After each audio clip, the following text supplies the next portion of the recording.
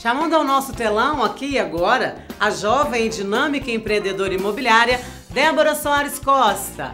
Ela que vem se destacando, né, com seus lançamentos inteligentes e muito oportunos e uma intensa atividade de construção e comercialização de casas por toda a cidade. Além de projetos de peso em andamento que deverão chegar ao mercado muito em breve. Débora Soares vem de uma família que traz o DNA do empreendedorismo no sangue. Entrou para o mercado de imóveis em julho de 2009 e nos negócios imobiliários encontrou seu lugar no mundo. Débora constrói casas, comercializa imóveis e agora prepara para muito breve o lançamento de um novo loteamento localizado numa área de grande valorização de Piuí. Débora Soares Costa, portanto, mais um nome da nossa lista. Mais uma jovem profissional que a cidade captou, percebeu e aplaude.